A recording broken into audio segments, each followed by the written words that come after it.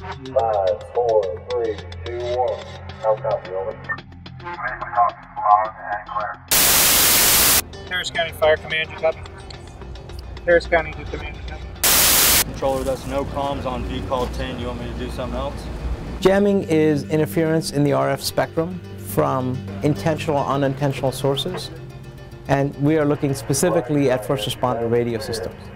I'm sure that we have had problems with jamming. It's whether or not we realize that we're having those problems, and that's kind of what we're here to see. Has it happened in the past? I don't know. If it has, we probably refer to it as a mechanical issue or error on the operator. Tom L on VCall 10. How copy, over. Division Bravo is not hearing on V call either. So what we were looking for was what happens when we get jammed? How can we identify it for our first responders and take that information back to them? And then what can we tell them when this happens?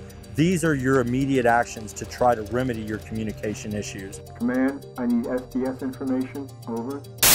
So we covered land mobile radio systems at VHF, UHF, and HF. We also tested Wi-Fi, GPS, Bluetooth. In addition to that, we tested drones and the capability of using other systems besides GPS for uh, geolocation. just preparing for this event has actually taught us a lot more about our radio system, what can happen to it, some of the vulnerabilities in it, and we've started coming up with plans on how to address those vulnerabilities. We want to be able to identify jamming, possibly locate jamming, and then identify some possible procedures that you can do to work around the jamming. Uh, the 2017 event that we're planning on is going to be um, in Idaho um, in, in mid to late July, and hopefully after the 2017 event, we'll be much more prepared to, to tell you what you should do, what you should look out for, what are the technologies we can employ, not only in the infrastructure but on the radio side to help you work better in jamming conditions.